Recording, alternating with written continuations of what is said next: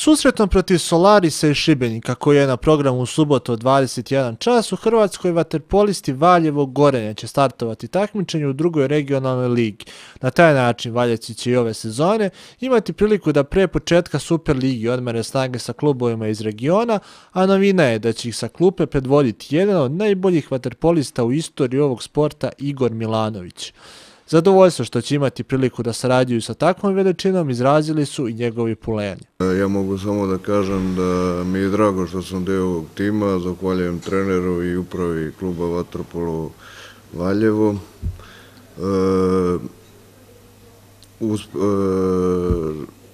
uslovi su stvarno fenomenalni, zadovoljan sam gradom, uslovima, treninzima, na nama je da damo maksimum i da ostvarimo pobede, ciljeve i što više moguće. Kao neko ko je godinama zapravo od početka u igraču u Vatrpolu klubu Valjevo, mogu da kažem da je ova sezona nešto što nikada nisam doživeo.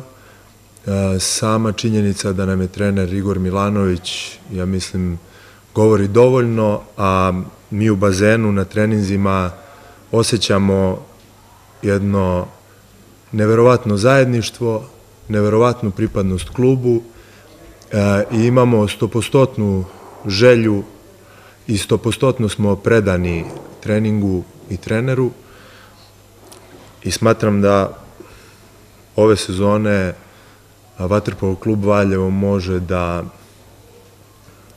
da zaista napravi uspeh kao nikada do sada. Trofejni sportista koji će sedeti na klupi Valjevaca rekao je da će pokušati da napravi sistem rada koji je dao rezultate u Partizanu, Pro Reku i Galatasaraju. Iako ne poznaje baš najbolje kvalitet ekipa, u prvoj sezoni, kako je rečeno, neće biti opterećeni rezultatom. Došao je trenutak da se i profesionalno angažujem u Vatrepolo klubu Valjeva, zaista na angažovanju, zahvaljujem na angažovanju upravi Vatrepolo kluba Valjeva.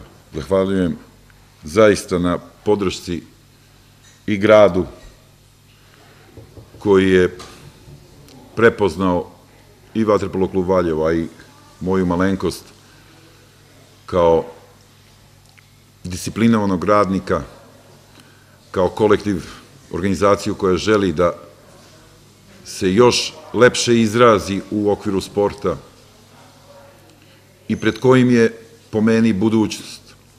Ambicije ove godine, koliko sam sa upravom uspeo da sklopim fizionomiju, nisu da osvajamo titule, ali da budemo sigurno čvršći protivnik svim ekipama u regionu i u Srbiji opet u tom drugom delu sezone kada i počinje Super liga.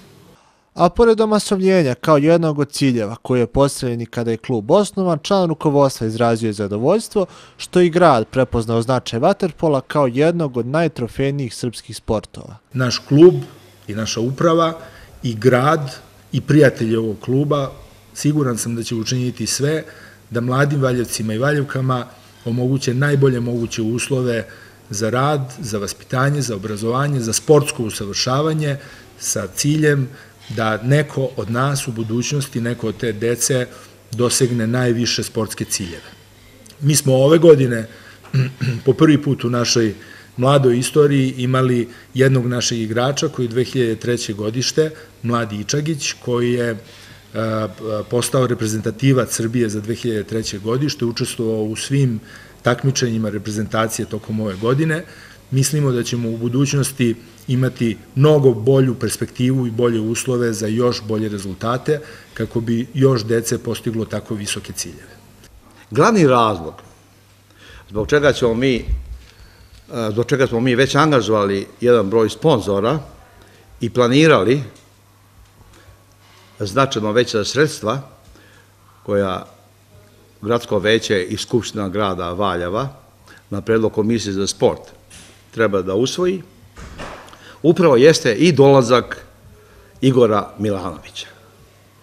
Dakle, njegove reference e, su jedan izuzetan magnet za mladu populaciju A istovremeno, s obzirom na činjenicu da klub, prema podacima koji su nam dostavljeni, raspolaže sa sedam trenera, to bi bila izvanredna akademija za tih sedam trenera da nauče tehniku, taktiku i veštine kretanja dece sa loptom kroz vodenu sredinu. Nakon dva startna gostovanja u regionalnoj ligi, Valjevci će prvi meč u sportsko-rekreativnom centru Petnice odigrati protiv ekipe iz Kotora 27. oktobra.